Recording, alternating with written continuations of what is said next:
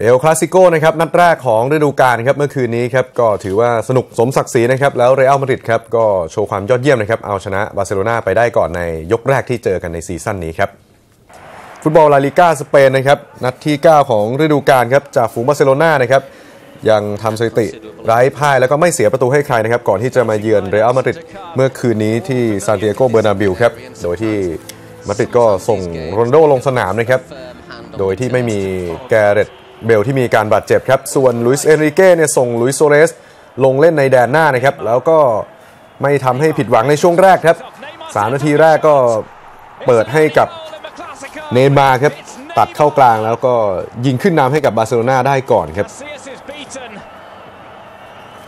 โซเรสก็เป็นคนassist ลูกนี้นะครับบาร์ซ่าซึ่งก่อนลงสนาม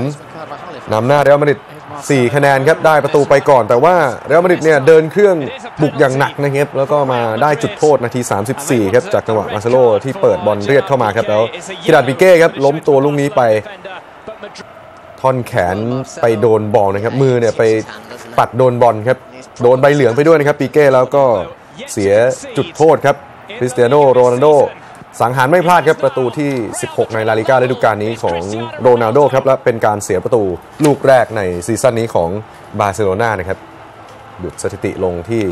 นัดที่ 9 ครับสำหรับเคลาดิโอบราโวผู้รักษาประตูทีมชาติชิลี หลังจากนั้นกลับมาได้ครับครึ่งแรก ยังไม่มีสกอร์เพิ่มนะครับ เสมอกัน 1-1 ครับ แต่ว่าเปิดฉากครึ่งหลังมาแค่ 5 นาทีนะครับ โทนี่โครสครับ เปิดลูกเตะมุมให้เปเป้ครับ เทคตัวขึ้นมงเน่งๆ ลูกนี้แบบไม่มีคนประกบนะครับ ให้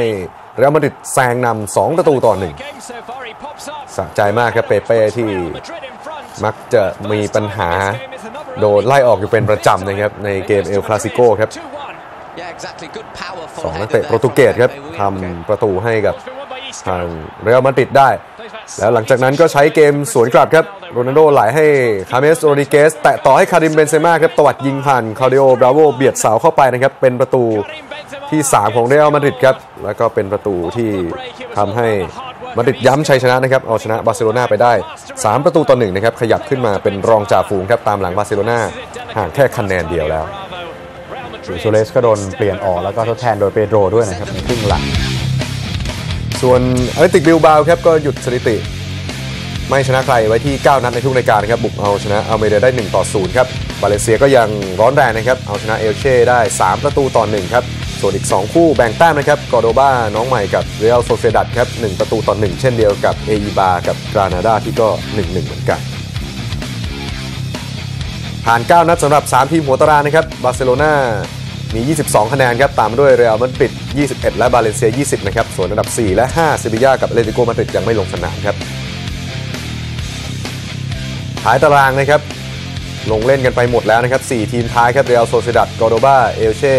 เลบานเต้นะครับ เป็น 4 ทีมที่อยู่ท้ายตารางครับ จากสเปนไปดูศึกกัลโช่เซเรียอาของอิตาลีกันบ้างนะครับทีม ที่ลุ้นแชมป์อยู่อย่างโรม่านะครับต้องไปเยือนซามพ์โดเรียนะครับนี่สัปดาห์นี้ลงสนามก่อนยูเวนตุสนะครับสำหรับโรม่าซามพ์โดเรียฟอร์มกำลังแรงเหมือนกันนะครับเจอกับโรม่าที่ล่าสุดก็ชนะมานะครับโดยที่ทีมรองจ่าฝูงนั้นไม่มีฟาบริซิโอคัชชาตอเร่นะครับที่ติดติดโทษแบนนะครับส่วนทีมเยือนนั้นไม่มีทางคอสตาสมาโนลัสนะครับโดยที่เกมนี้นะครับเริ่มได้ 7 นาทีครับทางลาซามก็มีลุ้นประตูก่อนนะครับ จากจังหวะของปาลอมโบ แต่ว่าทางด้านโซเรียโนก็ยิงไปติดเซฟแหละครับนาที 30 โรม่าก็เกือบได้ประตูเหมือนกันนะครับชาวินโยหลุดเข้าไปนะครับ แต่ว่าก็ยิงไปชนเสา นาที 45 นี่ก็ไม่มีประตูนะครับ เกมนี้ยังเสมอกันอยู่ที่ 0 ต่อ 0 นะครับ ครึ่งหลังนาที 70 ซาบเรียก็พลาดโอกาสทองที่จะได้ประตูเหมือนกันนะครับนี่ครับจากลูกฟรีคิกลูกนี้นะครับ บอลตกลงมาในกรอบ 6 หลานะครับ แต่ว่าโอกาก้ายิงโล่งๆ ลูกนี้ข้ามคานไปอย่างไม่น่าเชื่อนะครับ จบเกมซามพ์โดเรียกับโรม่าเสมอกันไป 0-0 นะครับ ไปดูผลคู่อื่นกันหน่อยนะครับสำหรับการแข่งขันเซเรียอาที่ผ่านไปนะครับ เมื่อวันเสาร์เอ็มโปลีแพ้กายารี0-4 ปาร์ม่าแพ้ซาสซูโอโล่1-3 นะครับเพราะฉะนั้นตอนนี้อันดับคะแนนเท่ากันแล้วนะครับโรม่ากับยูเวนตุส19 คะแนนเท่ากันครับลูกได้เสียยูเวดีกว่า 1 ประตูแต่ว่ายูเวนตุสลงสนามวันนี้นะครับ ในขณะที่ท้ายตารางนะครับปาร์ม่าเป็นทีมที่มีแต้มน้อยที่สุดนะครับมีแค่ 3 คะแนนเท่านั้น ก็ตามมาด้วยเคียโวอันดับ 19 ที่มีมากกว่าเพียงแค่คะแนนเดียวครับ ส่วน AFC Champions League นัดชิงชนะเลิศ leg แรกนะครับเวสเทิร์นซิดนีย์จากออสเตรเลียครับก็เปิดรัง Pirtek Stadium นะครับเฉือนเอาชนะอัลฮิลาลจากซาอุดิอาระเบียไป1ประตูต่อศูนย์จากประตูชัยของโทมี่ยูริชนาทีที่ 64 นะครับ แต่ว่ายังจะต้องไปเล่น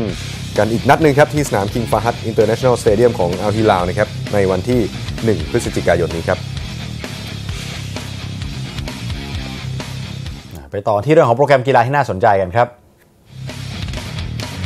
True Sport Today นะครับ ลาลิกาสเปน 18นาฬิกานะครับ มาลากาพบกับราโยบาเยกาโนนะครับทูสปอร์ต HD 4ปรับเวลาช้ามา 1 ชั่วโมง หมดทุกคู่แล้วนะครับสำหรับฟุตบอลยุโรป ในขณะที่เอสปันยอลกับเดปอร์ติโวลาคอรุนญา5ทุ่มนะครับ เซบียาบียาร์เรอัลตีหนึ่งเกตาเฟ่แอตมาดริดตีสามนะครับทูสปอร์ต HD 2 เซเรียอาเคียโวกับเจนัวตอน 3 ทุ่มนะครับ True Sport 5เซเรียอาก็ปรับมาเล่นส่วนใหญ่ช่วง 3 ทุ่มแทน 2 ทุ่มนะครับยูเวนตุสพบกับปาแลร์โมนะครับได้คะแนนคือ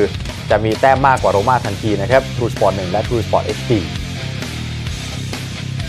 ส่วนเกมระหว่างอูดิเนเซ่อตาลันต้าตอน 3 ทุ่มและเชเซน่ากับอินเตอร์ตอนเที่ยงคืนนั้น True Sport 6ถ่ายทอดสดครับลาซิโอกับโตริโนตอนเที่ยงคืนนั้น True Sport 7นะครับ นาโปลี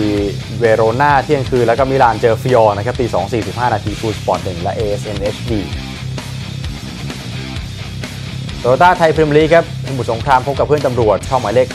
694 ครับ เวลา 18 นาฬิกาเตะ18 นาฬิกาทุกคู่นะครับ ไทยลีกครับอาร์มี่ยูไนเต็ดกับสิงห์ท่าเรือก็ 18 นาฬิกานะครับ ช่องหมายเลข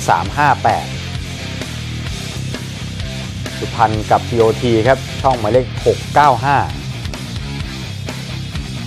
เชียงรายกับสงขลานะครับช่อง True for You เมืองทองกับศรีสะเกด True Sport 2 ครับชลบุรีกับแบงคอกนะครับ True Sport HD 2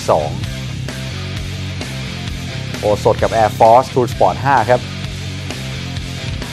บุรีรัมย์กับชัยนาท True Sport HD 3ปตทระยองกับราชบุรีช่องหมายเลข352 ครับ บางกอกกลาสกับ BC นะครับ 685 นะครับ ช่องของ True Sport 6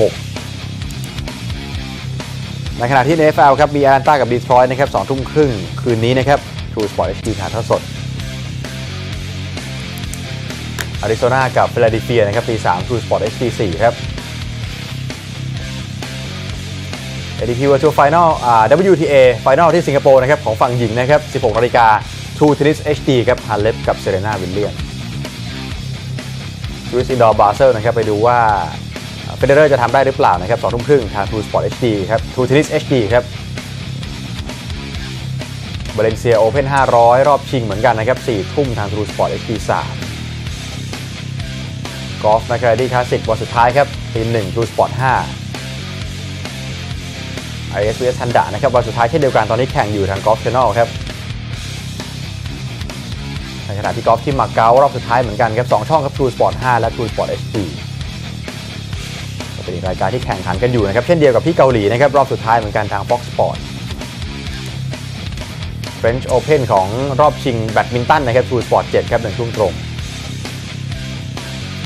มาเลเซียนกลางปรีนะครับ รอบเมนเรสตอนนี้แข่งกันอยู่แล้วนะครับ True อ่า Fox Sport 3 นะครับเข้ามาเลข690 นะครับ ทิ้งท้ายครับ ฝากกันไว้กับแฟนเพจ Facebook ของรายการนะครับ facebook.com/sptoday นะครับแล้วกลับมาติดตาม Sport Today ได้ใหม่นะครับ ในช่วงวันจันทร์ถึงศุกร์นะครับ2เวลาครับ 12นาฬิกาและ 19นาฬิกา30 นาทีทาง True Sport 2 วันนี้เรา 2 คนและทีมงานลาไปก่อน ขอบคุณสำหรับการติดตามครับ สวัสดีครับ สวัสดีครับ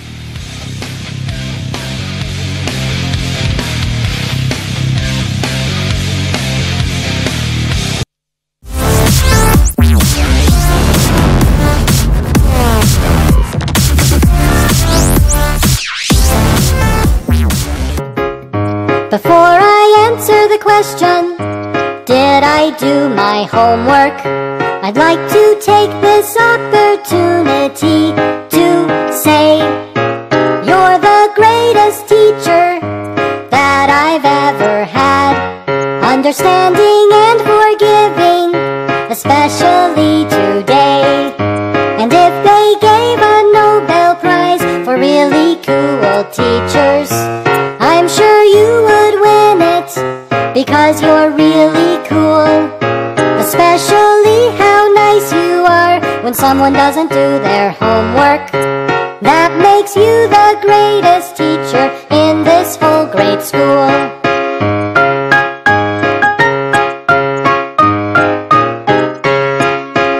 Just as an example of how you're the coolest teacher. They didn't get their homework done, you'd probably give them